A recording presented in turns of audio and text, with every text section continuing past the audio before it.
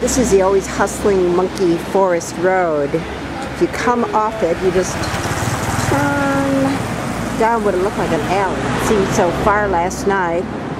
And head on back to the sun, to the Cendana Resort, which is tucked way back there by the rice fields.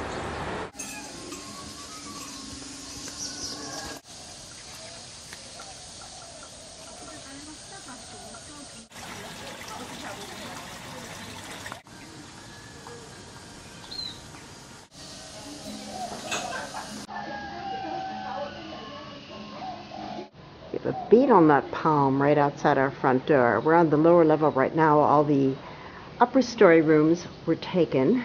I hope to change to the upper story one tomorrow when a lot of people are leaving.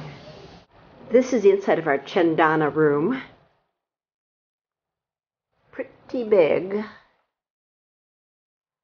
I haven't seen any mosquitoes yet. I'm sure there are entree into the bathroom, which is gigantic. Could almost have a party in here.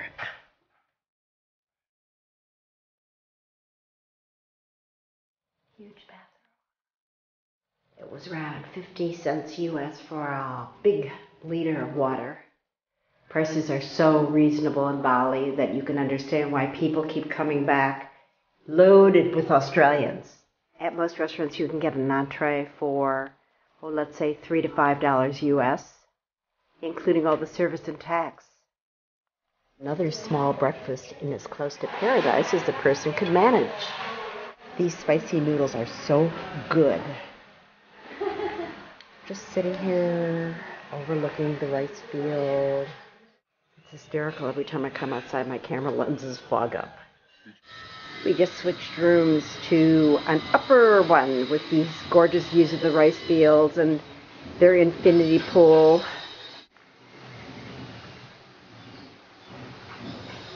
I wish we could have had it the first few nights.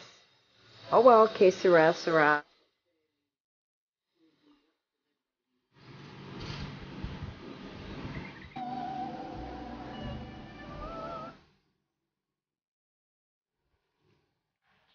That's the room that we switched to.